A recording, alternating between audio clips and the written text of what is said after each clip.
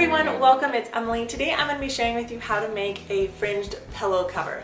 This is really, really easy. It's something I made last fall and I absolutely love the way it turned out. And if you're like me, I've been looking and looking for a certain pillow cover in the same color and pattern and I have not been able to find it. So I was like, you know what? I am just going to go out and buy my fabric that I like and I'm going to make the cover myself. I've been doing this for years and it's super, super simple and you guys can do it. Um, I use a sewing machine, but if you don't have a sewing machine, you could probably hot glue this together. I know that sounds probably really, really crazy, but that is an option for you guys if you do not have a sewing machine. Um, I made mine into an actual cover that you can unzip, so you can do that or you don't have to do it. It's really, really versatile. So go ahead and grab your fabric, your sewing machine or glue gun, and let's go ahead and get started. So here is my fabric of choice. Um, I really like this plaid print. It's from Hobby Lobby. I'm using the same color string for it.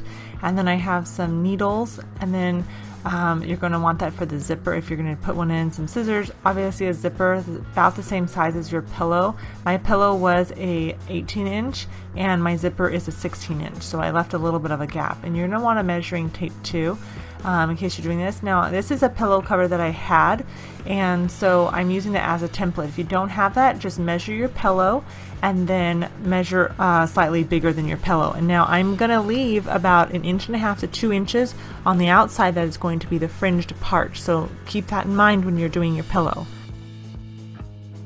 Next, go ahead and cut down your fabric. Mine is folded over. I like doing it that way because then I know it's, you know, for sure it's the same size. And then go ahead and cut the other side.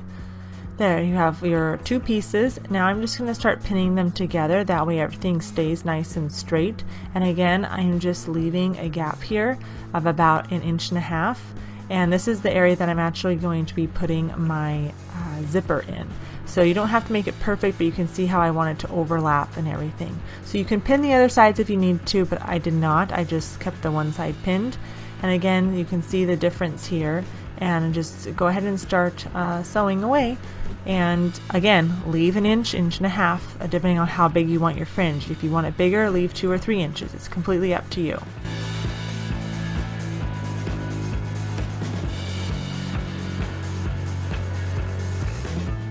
And we are not sewing this inside out. This is going to be how it is um, on the outside because it is going to be fringed. So once you get um, all three sides sewn, go ahead and take your needles out and then place in your zipper if you're going to be doing this. If you're not doing this and say you're using a glue gun, stuff your pillow now and then you can come back and glue that afterwards. So here I'm just pinning it the way I'm going to be sewing it into my sewing machine and um, you can see I just add a few here but that way it just acts as a guideline and I'm going to fold that over.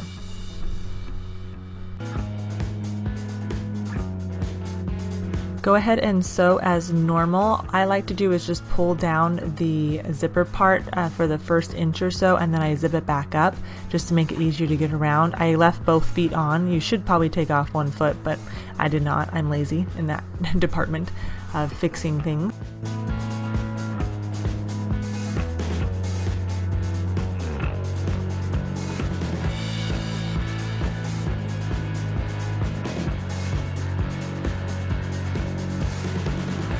So once you have your zipper all the way um, sewed in, go ahead and start pulling out the strings of your fabric. This is the fun part. This is where you get to make your fringe. So pull away, don't panic. You can't really do too much. I honestly think the more fringe you have, the better off it looks.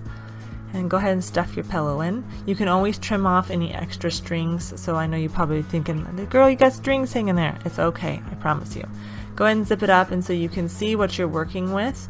I pulled out half of the strings to the uh, length of the actual fabric, so just halfway, and I really, really like the way it looked. I hope you guys enjoyed this tutorial. If you did, be sure to give it a thumbs up, and if you'd like to see more, let me know. Maybe I'll share some more sewing DIYs with you. Alright guys, have a good day. I'll see you soon.